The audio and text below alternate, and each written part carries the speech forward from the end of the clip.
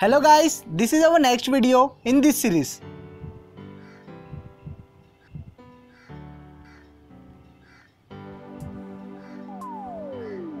If you remember, in the last video, we have discussed how we use term work in our day-to-day life and the way we use it in a science. We have discussed that if we apply a constant force on an object, an object gets displaced by s in the direction of force. Then work done by force is equal to the magnitude of force and displacement d. Now what is the unit of work?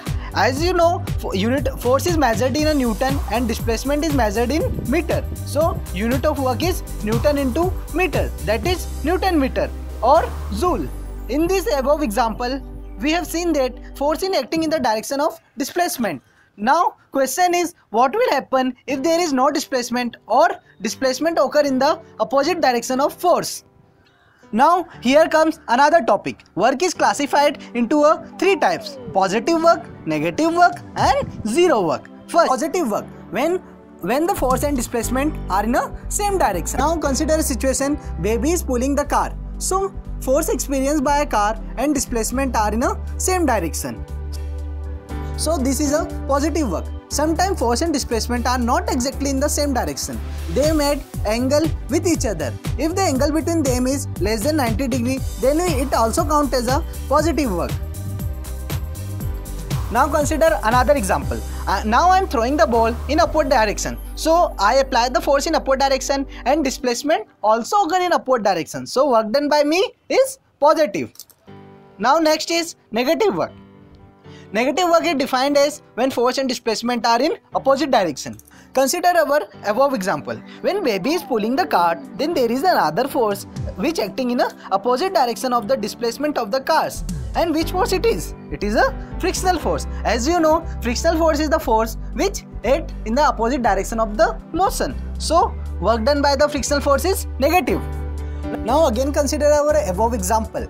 When I throw a ball in upward direction, then work done by me is positive. But work done by the force of gravity is said to be negative because gravity is acting toward the center of the earth and displacement of ball is in opposite direction. So work done is equal to the force into minus s and work equal to the minus f into s. So we can say that when angle between force and displacement is greater than 90 degree then work done is also said to be negative. Now, zero work. It is the work done when force and displacement are perpendicular to each other or angle between them is 90 degree. So, for example, whenever you ask porter to carry your luggage, then you have seen that porter lifts luggage on his head and moves forward. Now, in this case, to keep luggage on his head, he applying force in upward direction and moving forward. So, force and displacement are perpendicular to each other. So, here work done is zero. Now consider a planetary motion.